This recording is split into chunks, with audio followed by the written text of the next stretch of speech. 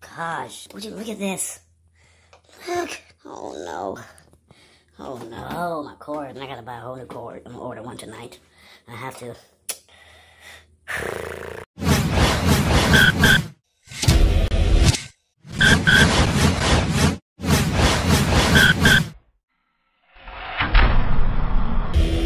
Brown's Town.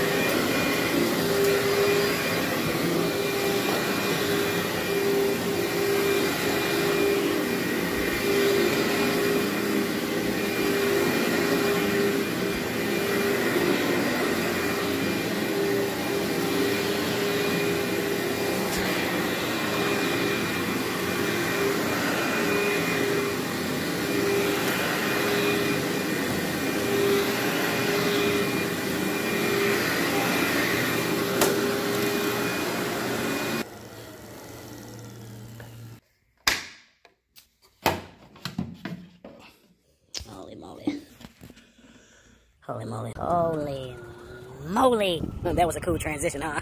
Brown's Town, you see the vacuum. Ah, look at that. Holy moly, Brown's Town. Holy moly. Oh, got a dumpster. I can dump it out in the dumpster, Brown's Town. Let's go.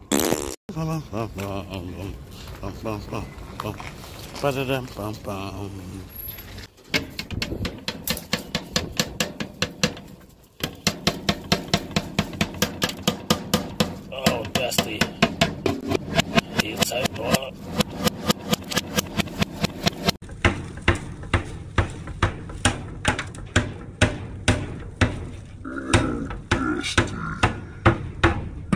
Dusty.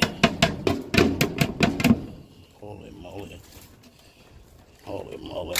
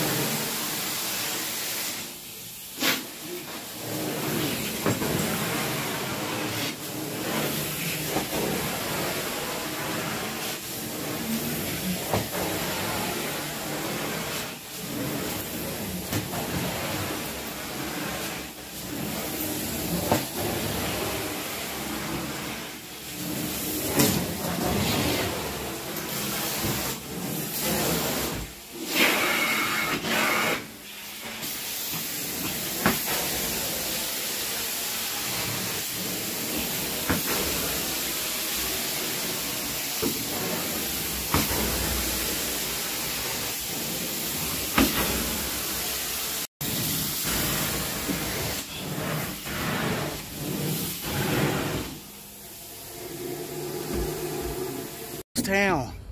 This comes to the end of today's vlog. It was a quick vlog today. One of my property management companies called me for an emergency uh, service. They have a tenant moving in tomorrow.